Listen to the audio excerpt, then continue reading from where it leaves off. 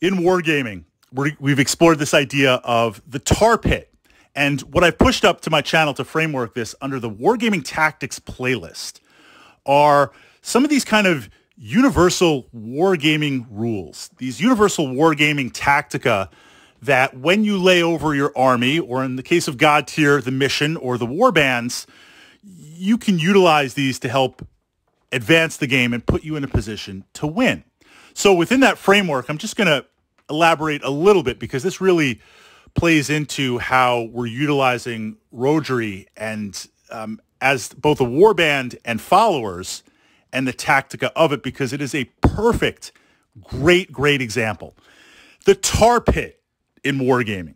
The tar pit is this unit or a bunch of units working in a certain area that you are just going to camp them. You are going to park them at a certain area, not only area denial, but anything that's thrown against that that tar pit unit or that group is just going to get bogged down turn after turn after turn. It just can absorb a lot of damage.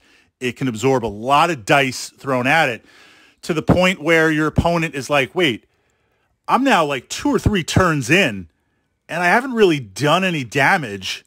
I'm, I'm, I'm wasting, I'm wasting units, or, or in the case of Godtear, warbands and followers trying to take this out. I should have just been ignoring it in the first place. Bonus points if they pile more and more and more on. It's literally a tar pit sucking everything in and keeping it in place.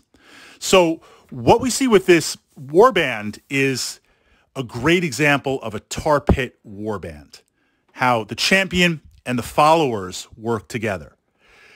Champions and followers. Well, this is um, you know, this is a bigger tactica discussion, especially when we look at the various um, colors. If they're a Slayer, right? How that things plays out. But sometimes what you see with some war bands is the champion wants to work completely independent of the followers.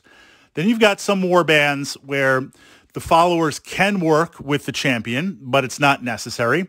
Then you have a few that need to be around and work with the champion, almost as if they are one, um, one complete group. Rhodri and the dwarves, they want to work together. They want to be close and next to each other. And given their life and given their armor value, especially that you can potentially buff that up just with the individual followers and champion. But if you have some synergy playing two or three war bands to buff it, to increase that armor stat, to boost that, to keep that life up, that's where things get crazy. This unit can just absorb massive, massive amounts of dice damage, almost to the point where you say, was it even worth it?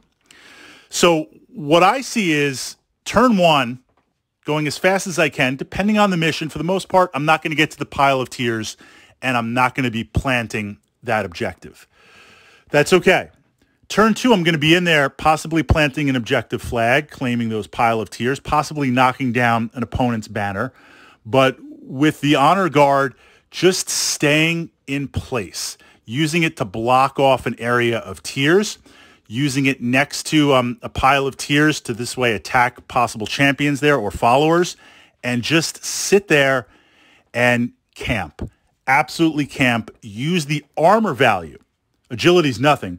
Use that armor value, boost that armor value, and just soak up and absorb those shots. What I find um, also is the recruit action most I don't well not even most many of the um the war bands I find myself not really recruiting that often because I don't want to burn a champion ability and middle or end of game where things might start getting a little bit tighter depending on how I did in the earlier turns or the other war bands are in play. If my opponent has um, numerous yellows do I do I want to recruit followers only to have them killed and give up points so sometimes with the followers, I'll utilize them, but by mid to end game, I almost don't want to bring them back. Depends on the warband, depends on the mission. With Rhodri and the Dwarves, I'm always bringing back followers because I'm generating just that tar pit, that tar pit, generate, generate, generate. I want to keep that pressure there and I want to suck in more of my opponents. So an interesting aspect in that one of the strategies with Godtear would be dice mechanics. I want to generate massive amounts of dice. I want to buff those dice potentially more, and then I want to um, I want to hex or curse you to bring down your attributes so I can pile on the dice and kill you. Hopefully to do it with a little bit of style. But with this warband, I want to just plant. I want to tar pit. I want to armor up.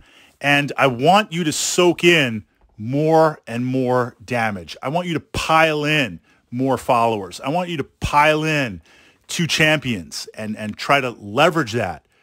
That I find is how it really, really plays tactically as a tar pit type unit.